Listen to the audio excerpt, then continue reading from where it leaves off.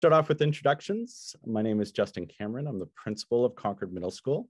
I had a chance to Zoom with many of you in early March um, as a chance to learn a little bit about the transition to the middle school years. Um, I have two little ones who are upstairs finishing up dinner um, and are getting ready to start their nighttime routines. My youngest is in kindergarten. My oldest is in second grade. I'm going to turn it over to Miss Brand.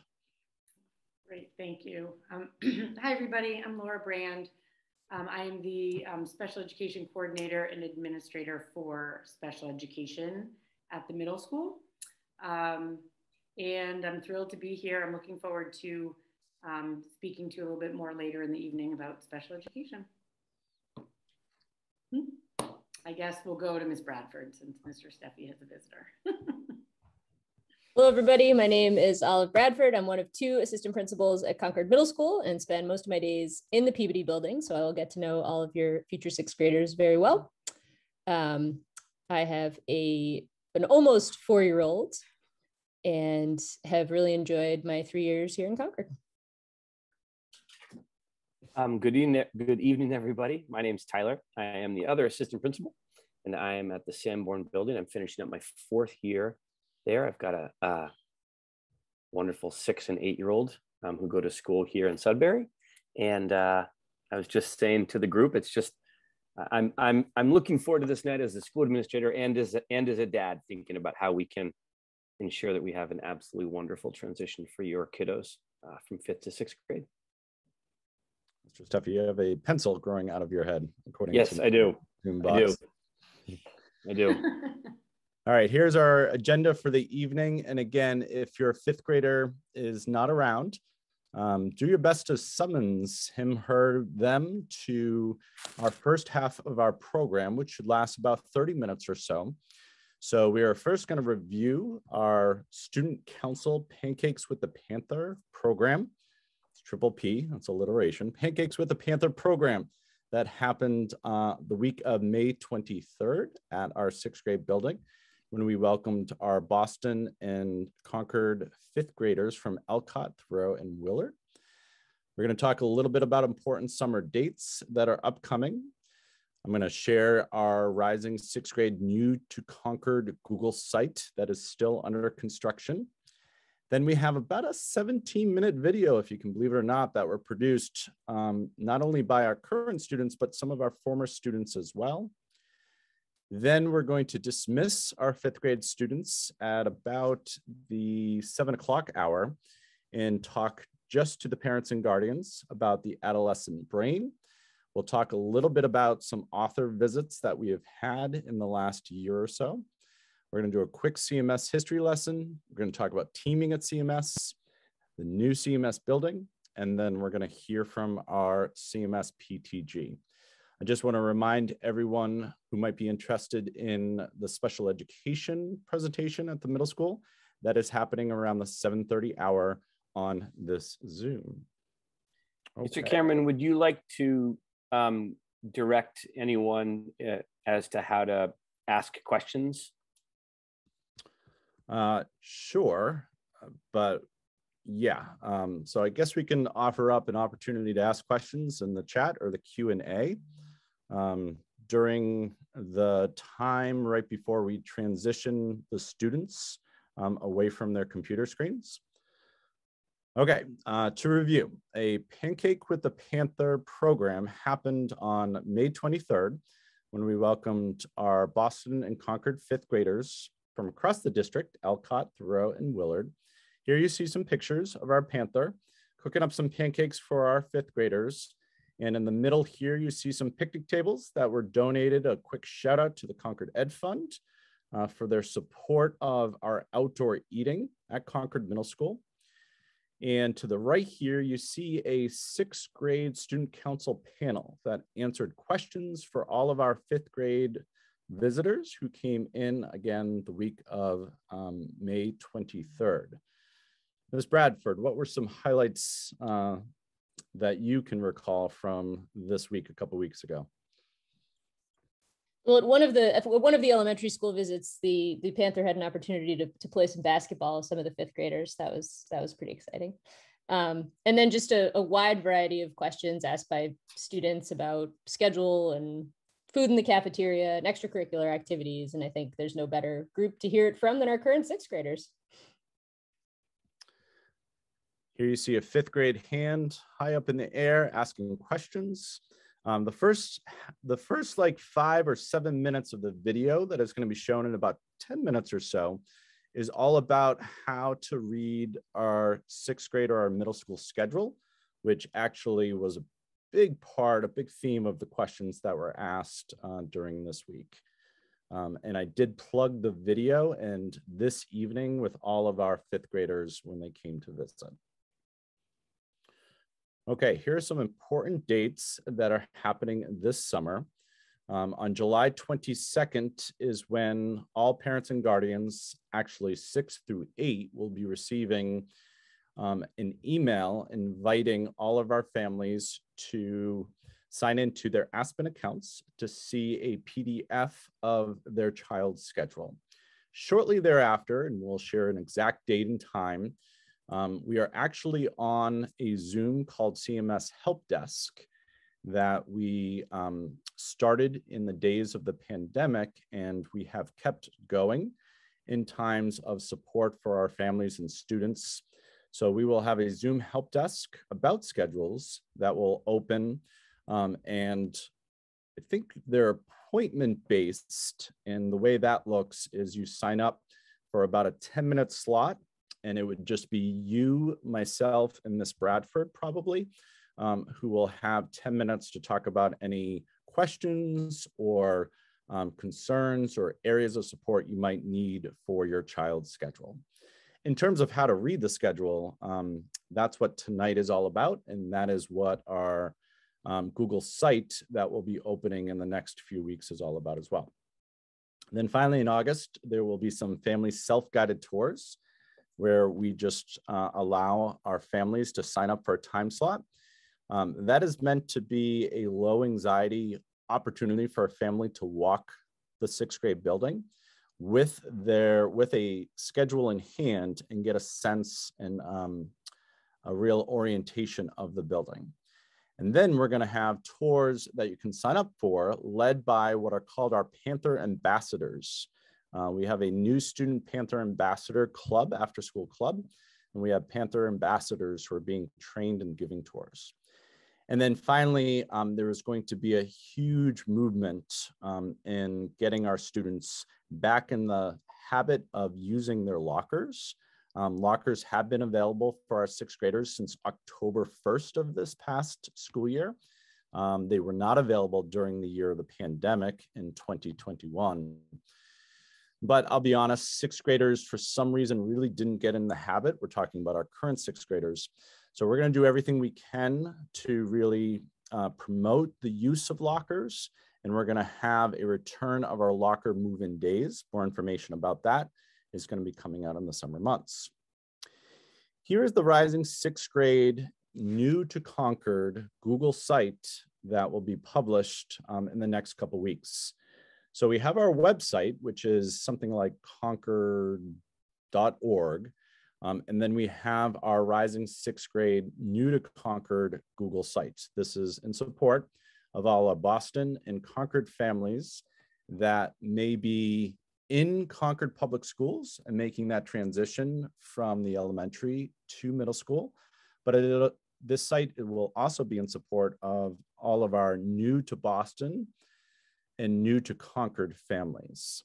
Um, when I say new to Boston, I mean new to the METCO program. So this site should be dropping in the next couple weeks, um, including of which will be the um, supply list for all grades as well. Okay, here's where we get to the video. So sit back, grab some popcorn, some candy, uh, maybe some snow caps. That's my favorite candy. Bradford, what's your favorite candy? M&Ms. M&Ms. Okay, we'll do it. Miss Brand? Um, anything with peanut butter, peanut butter and chocolate. Peanut butter. Okay. Mr. Steffi, what are you going to uh, grab for the movie here? For me, the movie is uh, popcorn and Twizzlers. Mm-hmm. Okay, love it. Ever try the combination of popcorn and snow caps? No, but I love the sound of it. Mm, yeah. Delicious. Okay. Sweet and savory works for me. Enjoy.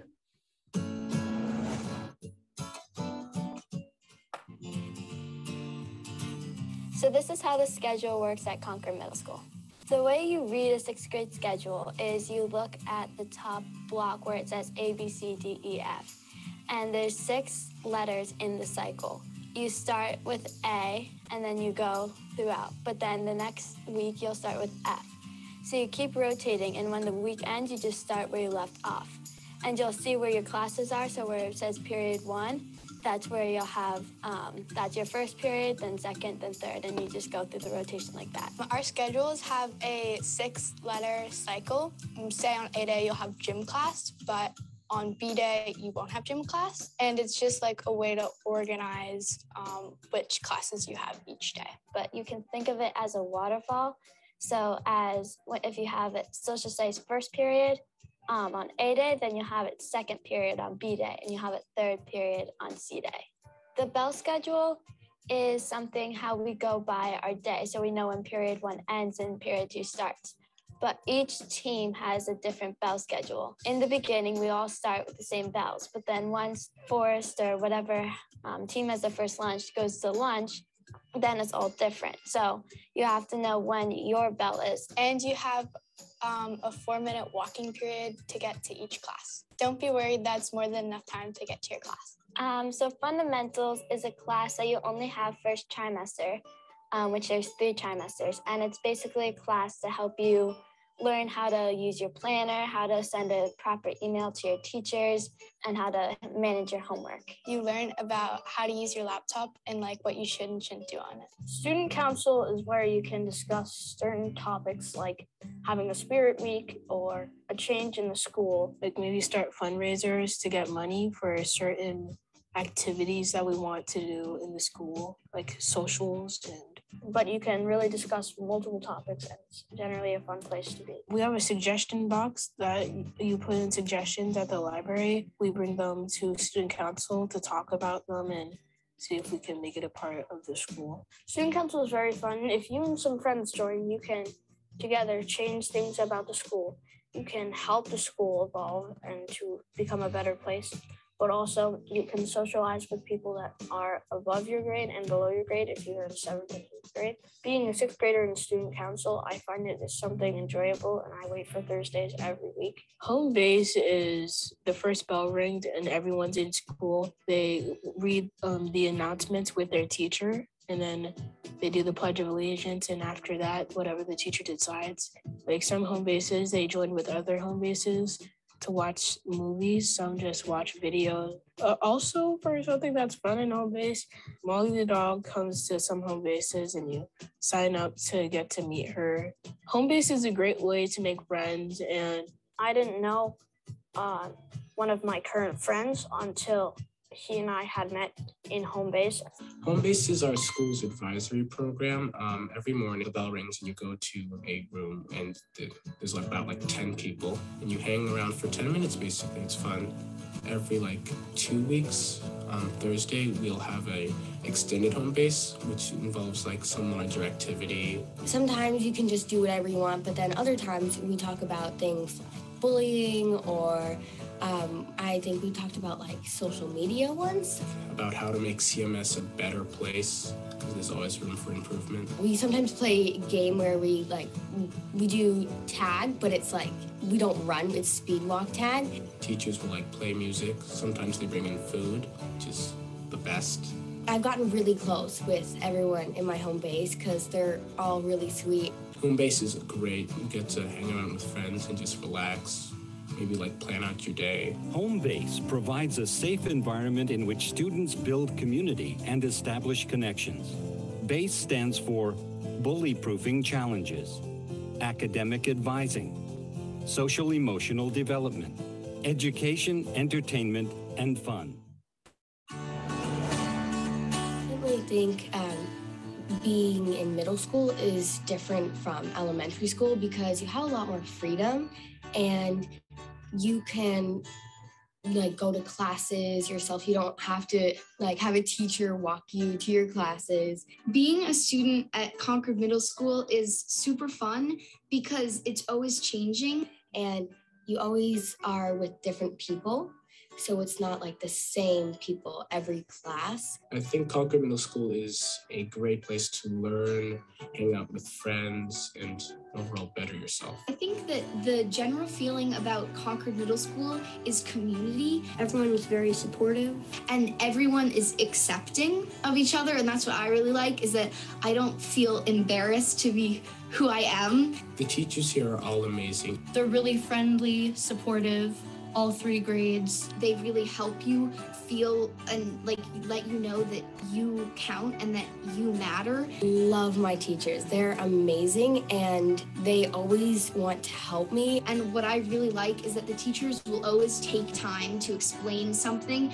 They make sure that you understand what's going on and you aren't lost or anything. They really care about the students. Like I'm in eighth grade um, with Miss Callahan here at Peabody, and she offers like multiple days a week. She'll say like, "Oh, here's extra help," and she'll let you know. It's not just like you have to ask her. She'll offer it to anyone. They want you to do the best that you possibly can. Do activities. They take us outside sometimes. They incorporate games, and the teachers are really invested in the after-school activities. This school has probably the best after-school opportunities I've ever seen because there's like so many. You get to be with your friends. There's like a thousand different after school clubs that you can do. And it's a really great way, again, to get to know people that you wouldn't know. And it's just super fun to be able to connect with people and talk with people who have the same interests as you. CMS offers all different kinds of sports. Like in the fall, they offer cross country, soccer, and field hockey. In the winter, they offer girls and boys basketball. In the spring, we offer interscholastic baseball, softball, and track. Interscholastic means that you would compete against other schools. Sports here at CMS are just so fun. The coaches are so nice, and so are the other people on your team. So, here you can go to our website and learn more about all the really fun sports that we offer here at CMS. The clubs here at City CMS are really, really cool. There's Rise Club, Chefs Club, there's Animals and Planets Club, Media's Club, GSA, Lego Robotics, Honors Choir, Marvel Club, Math Team Divide and Conquer, Art Club, Women in Leadership, Intramural Sports, Makerspace Club, Doodle Club, Yearbook, Ultimate Frisbee. This is a great way to learn and um, meet new people. Go to our website right here to join any of the clubs. All you have to do is email the faculty advisor member that is a part of the club. The challenge, me and other students went to, um, I think, Bedford, and we did some challenges involving math and ELA and justice. It was a lot of fun. We got first in math and first overall. Challenge Success is a program which tries to build a better community and a balance in school and work with children around the world. It helps kids realize and what they're doing and how the community can bring those people together. Well, the conference was with these counselors that helped us um, bring in more ideas that we could bring into the school. Uh, they talked about some main points like how stressful it is in school for these children, how can we help them, also like what can we do to make a difference in how these kids will learn and to make it a less stressful experience. One of the coolest things that happens um, is probably uh, the musical. And I made some amazing friends in the play that I probably wouldn't have known or become friends with outside of the play. I think the sixth graders, seventh graders, and eighth graders don't interact all that much. But when you're in the musical, there's always some sixth graders and always some eighth graders and always some seventh graders. Well, it is partly the camaraderie with people, but also like just the experience of being on stage in front of like a bunch of people. But like once you're in the moment, it sort of melts away and you become your character. You're all creating something together. Each year I meet like new people that like I'll get to know throughout the process of making the performance and now like in the high school I'll, I'll get to know them even more so that's great at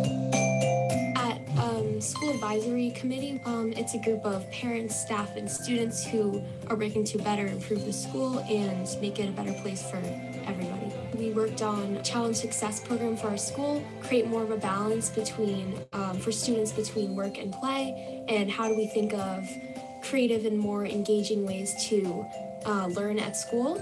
The Student Council is a group of students um, who work to improve the school and give students more of a voice. Last year we made a new handbook for students, and this year we're looking to make a parent and teacher handbook and a student handbook. And it just makes more students feel heard and welcomed. So you really you get to have a say in what happens in the school. Yeah, it's a really fun experience to get to know people who work with the school. The students feel represented. So Maroon and Gold Day is something that celebrates school spirit. Um, usually people try to wear as much maroon and gold as possible and you tally it up. Um, and something new that we started this year is Maroon and Gold Bowl, which is where we all all three grades go into the forum and we split up into home bases and we do competitions and trivia's and it's really fun. School students in Concord stepping through some important life lessons. Student leaders with the Playbook Initiative spent Thursday leading discussions about race, religion, and gender orientation. They also played out different scenarios that were written by students. It's all part of an anti-discrimination and anti-bias program run by Project 351 and the Celtics Shamrock Foundation, which was inspired by the team's 2016-17 roster. But middle school students, such an important time. So great to do that when they're that age. Right. Yeah. It's nice to see that they're making that a priority. Yeah. Yeah. Well, they were. This is the Playbook Initiative at Concord Middle School.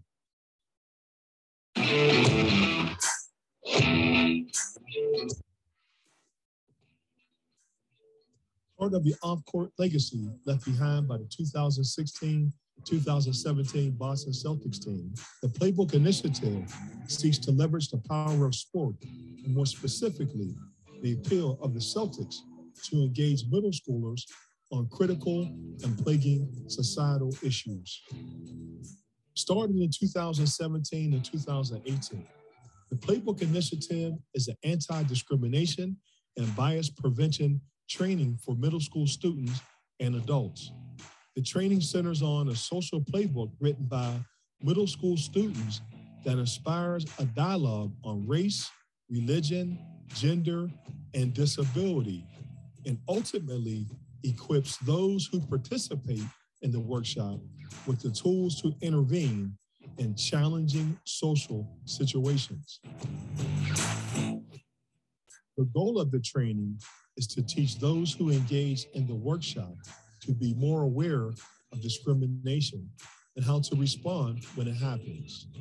Too often, teens, even adults, are either the target of teasing or are witnesses to bullying and feel unprepared in how to act.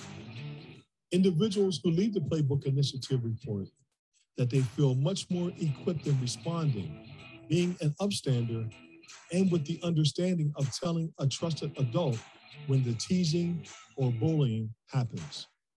Concord Middle School was one of the first schools selected to engage in the Playbook Initiative in 2018. Since 2018, over 400 Concord Middle School students, 200 adults, including support staff, bus drivers, parents, teachers, members of the community, including the Concord Police, school committee members, and Concord Public School leaders have participated in the Playbook Initiative. Since 2018, the following coaches and players have partnered with the organization called Project 351 and students and staff from the middle school. Brad Stevens, Tacko Fall, Al Horford, Grant Williams, Jaylen Brown, all in an effort to renew and strengthen the Concord Middle School culture ensuring that is grounded in equity and leveraging diversity and inclusion throughout the school. In 2022, Concord Middle School began an important tradition of using its successful advisory program, Home Base, as a platform to engage all 700 or so students and 140 or so faculty and staff. Each grade has approximately 25 home bases or advisory groups of about 10 to 12 students. Each grade also has approximately 25 Playbook student leaders who will partner with the home-based adult advisor in leading the almost three-hour Playbook training.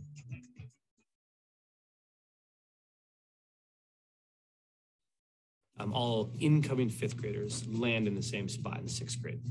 Uh, and so the big adjustment would be that our seventh and eighth graders will have to be in one of our two campuses, and then all of our sixth graders will be together at the same campus at one of our two middle school buildings.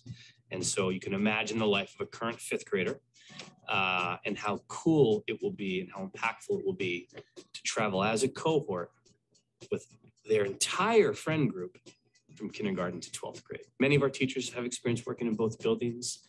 Um, neither building is unfamiliar to students in the other building. Uh, and so I think that there's a, a lot of uh, infrastructure in place to address the fear of that change. And I think that that's a very positive thing.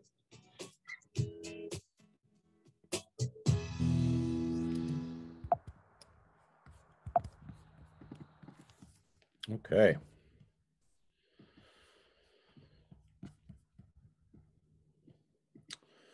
So the time is about seven o'clock, um, and I am purposely not going to open it up for questions. And the reason for that is because of our student council pancakes. Let's see if I can do this again. Pancakes with the Panther program. Um, essentially, three quarters of that program was our fifth graders asking our sixth graders and myself and Ms. Bradford every question from um, how, when do we get our lockers to um, how our lunches to whether or not we give detentions to how much homework do we receive. So I do think the Q&A or the chat could get a little overwhelming if we opened it up for questions. So um, we are gonna make a transition at this time. Um, our fifth grade students are um, able to stay on the Zoom. That's really up to all of the fifth graders who are on. Um, but I invite you to transition into um, your evening plans and whatever fifth grade homework you still might have to do. And we're going to make a transition to supporting just our parents and guardians at this time for the next 20 minutes or so. So we're at this slide here um, that I think is probably one of the most, um, whenever I Google something, I'm a visual learner, um, I toggle right over to Google Images. And I believe I was Googling executive functioning, um, the teenage brain, and this came up. Um, so much more can be shared or, or talked about here. Um, but I wanted an opportunity to really just put this slide in front of all our parents and guardians this evening. Um, this is one of two authors that we most recently have had uh, a chance to visit with uh, through Zoom. Um, this was Phyllis Fagel, who is the author of Middle School Matters 10 Key Skills Kids Need to Thrive in Middle School and Beyond, and How Parents Can Help. Um, this was a Google chat that we had with Phyllis, with our parents, educators, guardians, and community members. Um, if you look at some of these Twitter screen grabs, uh, question one, the author shares her mental catalog or memories of her middle school experience. Share some of your middle school memories, at least one has to be positive. Uh, question four over here on the right top corner. In chapter two, the author talks about the importance of giving this age a sense of purpose. What may be a good what may be a good school and home example of this? Um, then question one in the lower right-hand corner from chapter 14, the author shares the importance of being patient with middle school age students, boys in particular, and not always being communicative, excuse me, what are some strategies that may help parents who struggle with their teen who may not be talking? Um, and then um, we talked a lot about um, in the lower left-hand corner here, uh, the author shares this question, how can educators and parents empower students who are at risk uh, so they don't suffer in silence?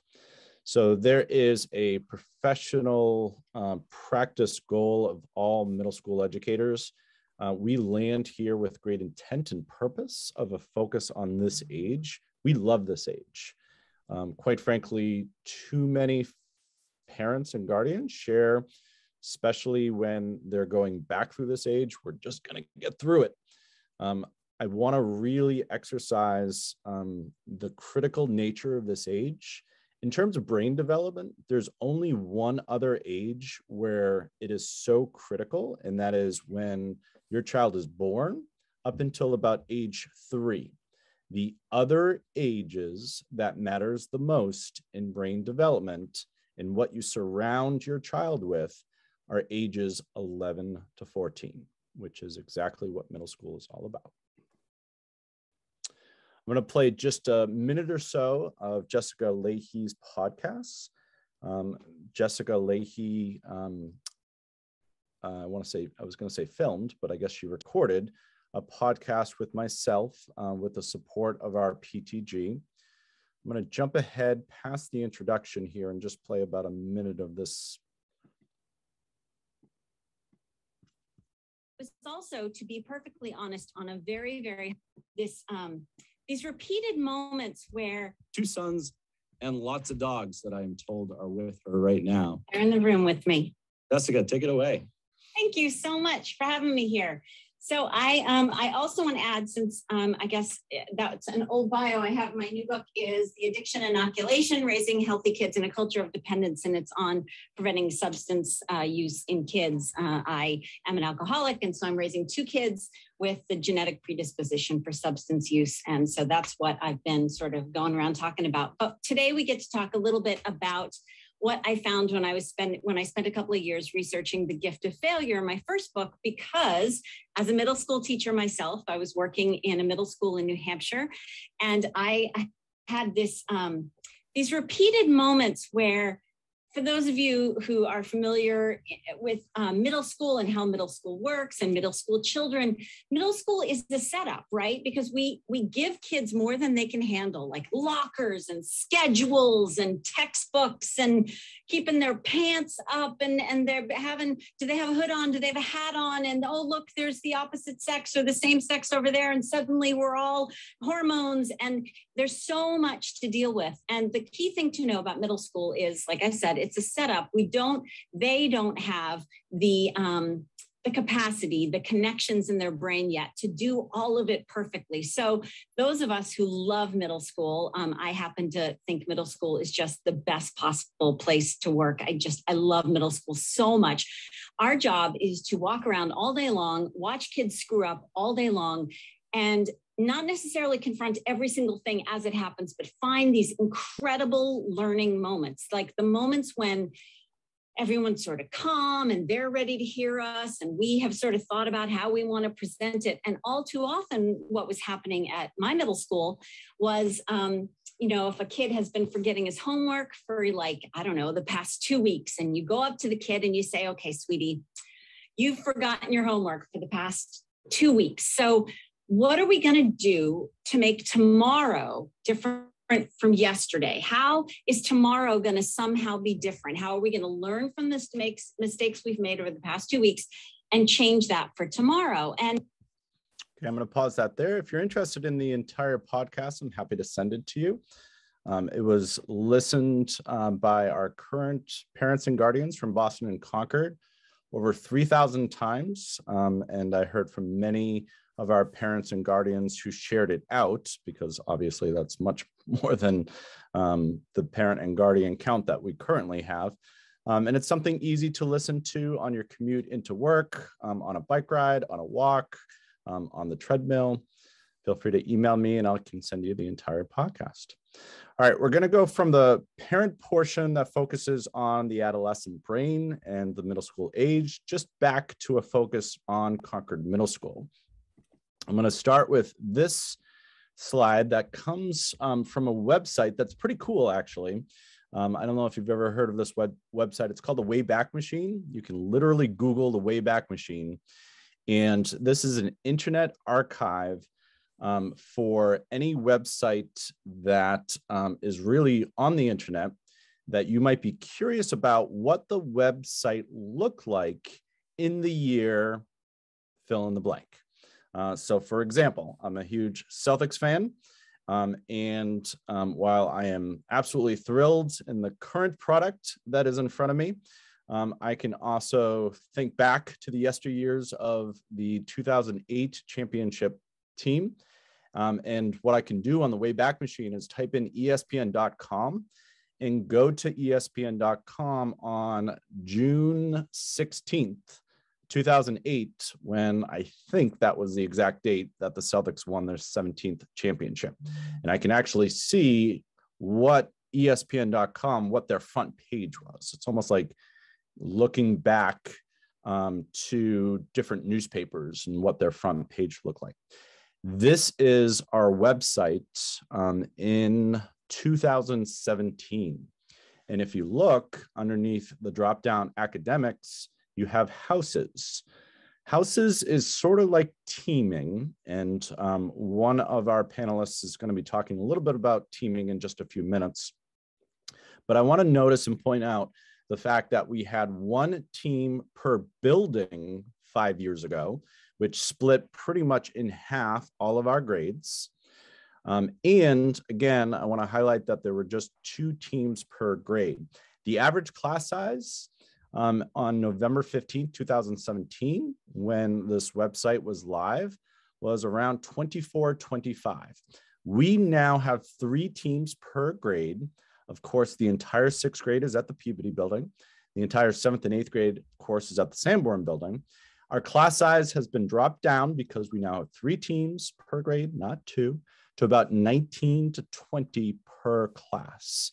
And our core teachers um, also have a reduction of their total case count or their total student count from about 110 down to about 80 to 85 as well. I'm going to turn it over to, I believe, Miss Brand, if memory serves me, to some other changes that happened since the 2017-18 school year. Sure, thank you. Um, happy to go through some of these. So in um, as Mr. Cameron just shared a little bit, the reconfiguration of the two building model um, from two six to eight, two six to eighth grade buildings to a sixth grade building and a seventh and eighth grade building. Um, so, you know, we're really having one school, just a sixth grade campus or sixth grade academy, and then a seventh and eighth grade building as well. Um, with and with that said, that sixth grade academy model, um, which actually our high school has sort of adopted a similar um, approach to their freshman class um, because it has worked really so well uh, for our sixth graders. Um, again, three academic teams per grade. You'll notice the um, the color schemes that we have. All sixth graders are divided into teams of uh, shades of green and then seventh is red and eighth is blue. So what happens in sixth grade gets mirrored up to seventh and eighth grade. Um, in addition, unleveled math classes have been happening in sixth and seventh grade, um, bringing in a lot of um, differentiation, universal design, um, really great approach for kids as well. And um, an RTI and an RTE block, um, response to intervention and response to enrichment. And I believe Ms. Bradford, you might be expanding on that in just a moment as well. Okay, I think we're going to go to Mr. Steffi about what teaming is at the middle school. Awesome, thanks. The idea with teaming is that we are, in essence, building a, a smaller cohort of kids, an academy, a team um, within the grade level. So if you are on Team Forest, you will have a specific set of core area teachers if you are on Lime, you'd have a specific set of core area teachers. In Forest, a specific set of core area teachers. Um, and so that means that you may travel with your friends if you're on the same team, um, and um, you may not because there are multiple sections per team. But each student on Kelly has the same group of teachers, which in and of itself creates a kind of bonding experience. Your home bases are also on team. Now, I know what you're thinking, and I have an answer.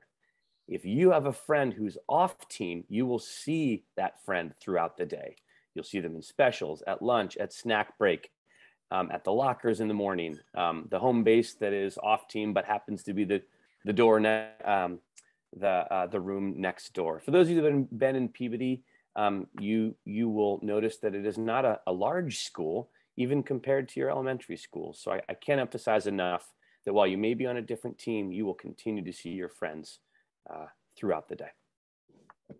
And we talked about that at the Pancakes for the Panther program. Great. That our fifth graders are making a transition from a larger elementary school building um, and a total count of students to a smaller middle school building Right. with, a, course. with, a, with less students as well. Of course. Cool.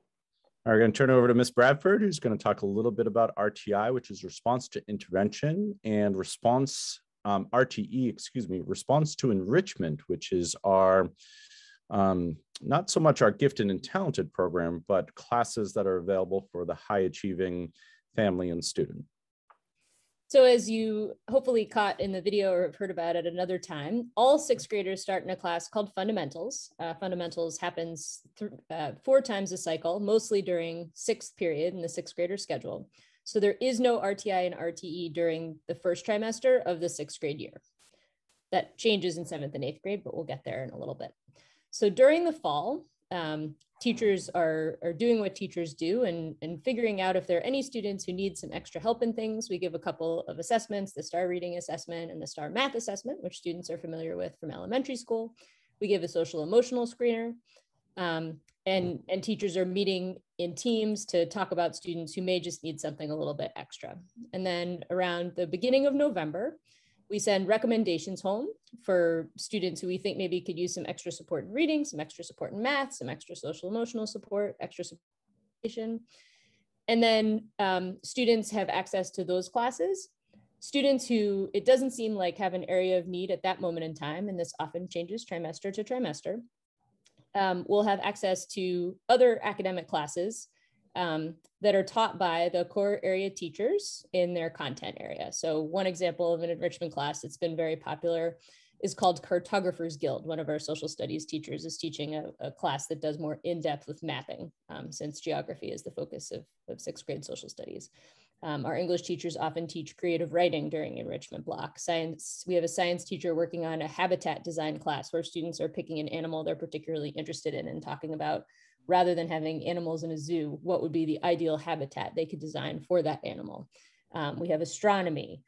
Um, we have an art class. Um, I'm trying to think, artists using different uh, materials to create pieces of art, et cetera, et cetera. So all of our teachers are teaching either response to enrichment class or response to intervention class. And it's really an opportunity for students to get what they need um, in that moment in time. So that starts in second trimester, um, late November or early December. And then again, in third trimester, we go through the same process. You know, I think the the real leveraging point that uh, we have as a school in that response to intervention, response to enrichment, is that we're harnessing the license of the teacher who's leading that class, uh, which is very interesting because for families who are looking at a potential pathway to special education, um, before doing so, we want to make sure that there are classes offered to your child that are very small, you know, maybe six to eight students, that if your child is below grade level, we can offer up intervention to them taught under the license of the area that your child may be struggling or may need some support in. Um, and same thing can be said for our enrichment or above grade level opportunities. Um, so if your child thrives and is still curious um, and has a passion and a love for science um, or English, um, PE, art, music, uh, world language, they can actually choose to take a second class taught by probably their core teacher, the same teacher that they have um, in that class. Okay. Uh, we're coming up to just about the end. It is now 7.15. I just want to share a couple things about our new building. Um, then I'm going to ask the PTG rep who is on to um, raise her Zoom hand so we can promote her to share some information about our middle school PTG. And then we will have some um, a little bit of time to just accept some questions. Um, but before we do so, I just want to offer up um, some images, some very exciting images of our brand new Concord Middle School building. Um, we are doing a groundbreaking ceremony um, this coming fall, if you can believe it. Um, I believe right after our fall sports season. Um, and to the left here, this was actually just updated about an hour ago. Um, the architects and project management team that um, I'm engaged with uh, almost every other Thursday morning has shared with us an update that the project looks like um, is going to be, the building's going to be re ready in February of 2025, um, making this class of fifth grade um, historic in the sense that they will be the first class to graduate from the brand new Concord Middle School building that you see on your screen, which is very exciting, of course. Any fifth graders who are in the house who may have siblings who are in second, uh, third, or fourth, you can also see above um, on your computer screen when they will be arriving to this new building. Um, we're very excited. And for all of our Concord residents um, and our Boston residents as well, we thank you for the support um, and making this all possible. Okay, I believe that is it. Um, I'm going to stop sharing my screen and we're gonna have um, an opportunity for our PTG to be promoted.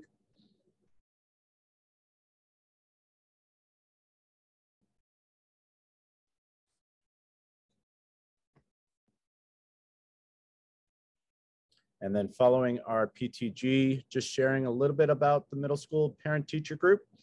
Uh, we will have about probably 10 minutes or so to take any questions that you might have. Kimberlyn, how are you? Hello, I'm doing well, thank you. How are you all doing? Oh, we are also well, thank you. Great, So it's we're good to see everybody. Gonna turn it right over to you. Awesome. Now the, um, do I have the ability to share at this point? I believe you should. Um, do you want to try? Hmm, it's saying host disabled participant screen sharing. Okay. So No, I can, I can skip the share if it's cumbersome. And, Nope. Here now try. okay. Hey, look at that. Um, it is there. Now I just have to find the thing that I want to share.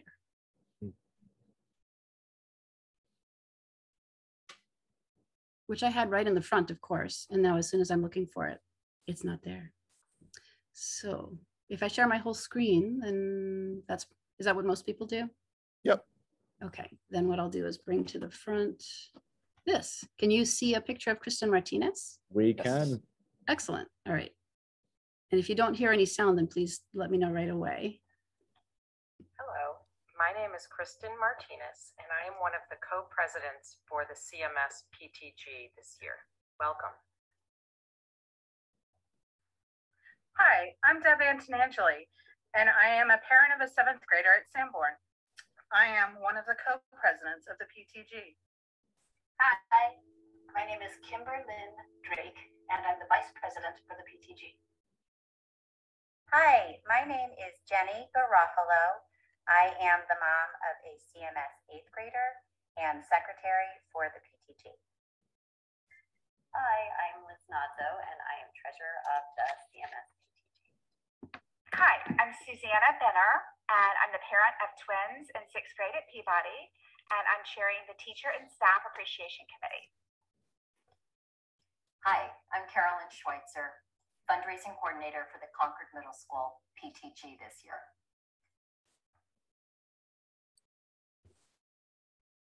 Cool. So let's see, now I have to stop the share. There. Hey, and now we're back to just us. What I wanted to do, everyone, was to give you a glimpse of who your PTG leadership was um, at the Concord Middle School. So who, so that was our current year um, uh, board of directors for the Concord Middle School Parent Teacher Group, also known as the PTG. So you saw that I'm in there. I'm one of the parent volunteers that um, uh, that loves our school and wants to do as much as I can for it.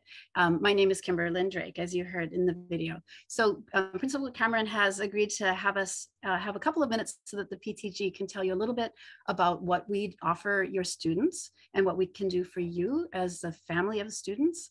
Um, and also to explain some ways that you might enjoy being involved with the PTG um, over these next few years. So what do we do for you and what do we do for your student? There's um, there's a few things handful there's lots of things but i'll just talk about a couple of them today. Um, first of all what we'd love to do is offer resources for the students to enjoy while they're in school And uh, that would include things like the playground equipment that you see outside the two buildings, and there's makerspace equipment in the libraries that the students can use while they're in the in the in the libraries. We also do things like helping to co-fund um, guest speakers that um, would entertain and inspire the students at assemblies, um, as well as participating in smaller projects that teachers might come forward with and offer them small grants um, for something that's really worth doing, worthwhile, but just isn't part of the regular school budget. So those are things we support that the students can enjoy in school. Now, uh, we also want to help to enrich the CMS experience for students and their families, which is the purpose of the PTG, um, with other, other things outside of school. And we like to put together social events for that. Now, I recognize that there are people on this call that might be new to the district, um, whether they're new to Concord or they've um, been in Concord for a long time and they're just sending their first kid to the middle school, or whether they've joined the district in some other way, whether they joined from Boston. Um, so they um, some people would be less familiar with how the typical PTG runs in Concord. And then there's kids that uh, kids that are coming up from the three public elementary schools where you you as a family member would have a lot of familiarity with what you'd see from a PTG. And in those for those folks, I just want to tell you about some of the things that are different. Um, but so with social events, there'll be some that's the same and some that's different. But cool thing about the middle school, the kids are learning to be more autonomous, right? So when we put together a social event, you can have ones that are just the kids and there's no parents there. And there's teachers that are there and keeping it all safe and keeping it all okay.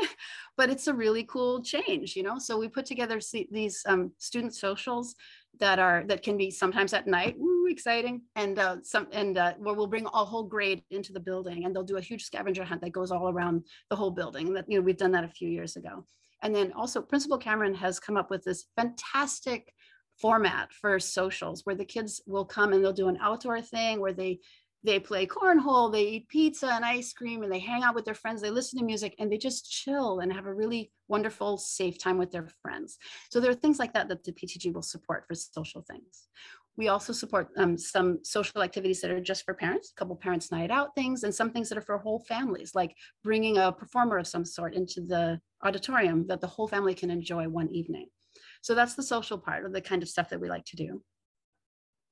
Um, in addition to that, we love CMS teachers, administrators, and staff, and we want them to know that, that they're seen and appreciated. And so even though we all, all families individually would um, like to offer their expressions of, of appreciation, but as a PTG, we can pool our resources, just like you've seen in the middle, in the elementary schools, excuse me, we can pool our resources in, our, in order to offer some more organized uh, expressions of appreciation that can reach more of the more of the employees in the building than a family can reach individually. So we do those things as well. Finally, of the things that we do, we also like to offer a special support for, for families that are that are new to the district and, and uh, for whom there are many things that'll just be very, very mysterious. And, and also, well, new to CMS specifically. So for some of you, if you're sending your first kid to the to CMS, there's going to be some things that are kind of that are mysterious to you. And so I would like to offer you some support to help you understand what to expect in those situations. Here's my first timely tip of that sort. And you'll be over the course of the year, you'll be hearing from me about yeah, once every month or six weeks with a timely tip. So this is your first one. The cafeteria. In elementary school, you have a fair amount of control over what your kid eats at school. So when they get to middle school, I just have to tell you the cafeteria, awesome, but they offer, in addition to the regular lunch that you used to, they offer chips and they offer cookies and ice cream. And these are things that the kids can buy with their lunch account. Good to know, right? So as a parent, like whether you whether you think that's good or bad or whatever, it's just good to know so that you can keep an eye on your MySchoolBucks account and you can just see or you could be you can take a more active role but that's your choice so my timely tip is i just want you to know that that is the case. So that's one. Over the course of the year, you'll be hearing from me some more. Now, some things that we don't do as a PTG, and this would be for folks that have kids coming up from the elementary school, you might be used to some things that we don't do. So don't, so that we don't want you to be surprised that that doesn't happen. We don't organize volunteers to work in the library. We don't organize volunteers to work in the art room because that stuff just doesn't happen. The kids are more autonomous and they don't need that much parent support um, like they did in the elementary schools. So, so that's the thing that's different. So that's what all we're doing for you guys. Now, you might think, well, what can I do to help? What can I do to be involved? There's three things that we would love for you to do. And the first one is to please be informed. Once you are, um, once you're, once the roll up has happened and your child is enrolled at the middle school, you'll start to automatically receive a weekly e a newsletter from the PTG. And, um, and if you would please take a moment to read those when you get them, that'll tell you all about all the things that's happening, that the things that we have planned for you. And the second thing is if you um, would if you would consider attending our monthly meetings, that would give you input to things that are going to that the PTG will be doing in the future so that you can help guide our actions. That's the first thing. The second thing is to please consider being involved um, by volunteering at some point in either a small project or taking on a role that goes the whole year. Whether you have one hour available or lots of time the whole year, there's something that there's some way that you can be involved in a way that meets that meets your schedule. And we would love to have you join us. Um, and there's there will be links throughout the year um, to sign up sheets and ways to participate in the newsletters that you'll get um, on a weekly basis. So that's number two. And the third thing we would love, if you can, is, and I hate to say it, be generous. The PTG can't do all of these things without some funding. And over the course of the year, we'll run different fundraising campaigns that we hope you'll participate in in order to allow all these other lovely things that I've described to happen. And so that, and so that is my spiel about the PTG. And I'd really appreciate the time, Mr. Cameron, that you that um, to allow me to to say hello to everybody. And we'll see you, we'll see more of you guys in the fall. And we're, we will be available for you with questions and all that kind of stuff. So thank you again for the time. Wonderful. Thank you.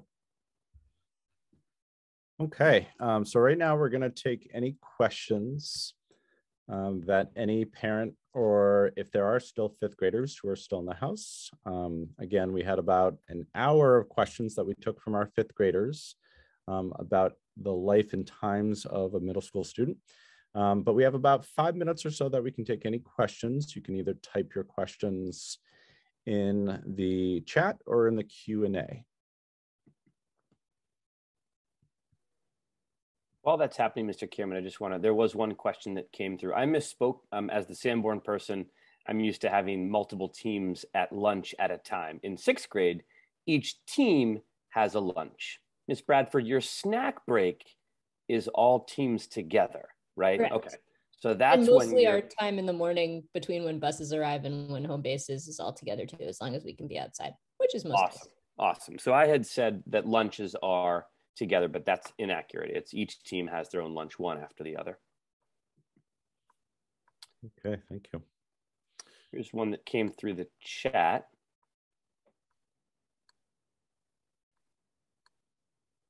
Yep, I see it right here. One of the slides said math would be unleveled. So math has been unleveled in sixth grade for, I think we're heading into our third year. Um, when will when will kids be taught at different levels? So that happens in the district in eighth grade. Um, unleveling math in sixth and seventh grade was a district um, decision um, that our fifth grade was involved in and our high school was involved in as well. But the students go back to leveling um, around the age of 13 um, in that transition from seventh grade to eighth grade, um, as opposed to when the district used to do it around age 11 um, from that fifth grade to sixth grade transition. There's a question in the Q&A that is, what is the purpose of having a rotating and cascading schedule versus something more static? Answer that one, Mr. Bradford. Sure. You are the architect. Um, so it really allows students to have an opportunity to, to be at their best um, in, in each class at different times during the cycle. Um, some students are really better first thing in the morning. Some students are better later in the afternoon. Um, some students, unfortunately, get to school late um, more than we would hope. But if they had the same class first every single day, it would be time into that. And it really just gives students an opportunity if they have math first period one day and second period the next day and third period the next day for students who may operate at a, a different place just based on their rhythms um, over the over the course of the day to hit each of those classes at their best moment.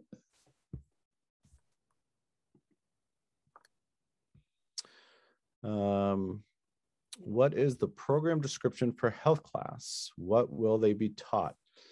Um, so part of the new, um, the Rising Fifth Grade and New to Concord um, Google site will be direct links to all of the curriculum um, and what is taught in every single class. So that's going to be a part of um, our Google site that is going to be open in just the next couple weeks and available for all families throughout the summertime. There's a question here about do kids stay at school for clubs and for how long? The answer to that is yes. Um, we always get a, a, flurry of questions at the start of the school year, wondering if the kiddo is missing the announcements because clubs don't start right away. You'll get plenty of forewarning. There'll be an announcements and in home-based news about what clubs, what days they're run, because it varies on the, the club sponsor's availability and for how long each afternoon. Is there a limit to how many students can register to one after school club? I can only think of one or two clubs where there's a limit for the most part, and, and those are because of a specific material, like for example, uh, robotics that they may be using, but most clubs do not have a limit. I think the question was also asking, can one student sign up for four clubs? Um, and the answer oh, is yes. yes. Yeah um, if possible. Um, you know, the way our clubs will be introduced to our school community is here are the following clubs meeting on Monday, here are the following clubs meeting on Tuesday. Wednesday is a respite. Wednesday is an early release um, day for our uh, students. Um, it is when our adults engage in professional development opportunities um, and meetings. Um, but Monday, Tuesday, Thursday, or Friday, our hallways are alive with student activity. Um, anywhere between 250 to 300 students are usually after school. Um, there's not a limit of um, how many students or there's not a limit of a student signing up for more than one club as long as there's no conflict. Uh, the clubs are going to be listed on the new Google site and on our website that you can find um, on Google as well. Is there a policy for personal cell, cell phone? Yes, thank you for asking. Um, that policy is it always needs to be away, off. Um, it can be on the student's person, um, but I think all students, faculty, and staff know um, that I'm pretty manic when it comes to cell phones um, and making sure that students are not using it. For the most part, our student body is excellent in acquiescing to that. Um, it's very important that even in classes, the teachers don't offer a compromise to this policy.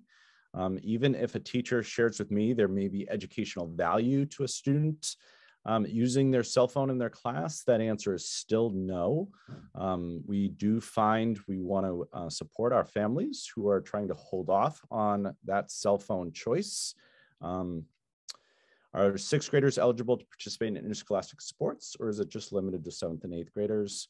Um, so there are a few sports, only a few, um, that are eligible for sixth graders. That includes cross country in the fall, um, possibly field hockey in the fall. Um, I don't believe there are any winter sports that are available to our sixth graders. Um, and then sometimes track and softball are offered to sixth graders in the spring. So, Cameron, do we have sixth graders doing um, basketball in the winter? We do not. We didn't. Okay. And there are buses. There's a late bus at 3:40 and also a late bus at 4:30. It's really a very thorough bus home from extracurriculars situation. Yep, and our Boston late bus is at 4:30 as well. Um, so all of our Boston and, and Concord students have access to all of our after-school activities. All right, we're going to take two more questions and then we're going to make a transition to the special education portion of the program. Um, Although, do you see any more questions? When does school start and end on a daily basis? So I purposely took that slide out um, because there are some internal conversations about supporting our transportation department and maybe shifting the time just a little bit. Um, right now, sixth grade starts Monday through Friday at 8.15. Um, students are asked to arrive by 8.10 at the latest, and they're in home base um, at 8.15. Um, Monday, Tuesday, Thursday, Friday. Right now, our sixth graders are dismissed at 2.30. Um, on Wednesdays, they are dismissed at 1.15. Last question, will there be a list of summer reading recommendations? Yes. So um, this will be on our Google site, but it will also be emailed out to all fifth grade families and our current sixth and seventh grade families. Um, a summer supply list, um, what to buy during the summer months um, for your back to school shopping. And then also earlier than that will be an email sharing um, some reading that we are very much wanting our school community to engage in. Okay, I think we're going to end it there. Um, I'm also going to turn off the recording for this portion of our program. Um, and I'm going to turn it over to Miss Brand. But Miss Brand, let's just uh, make a transition, uh, stopping this.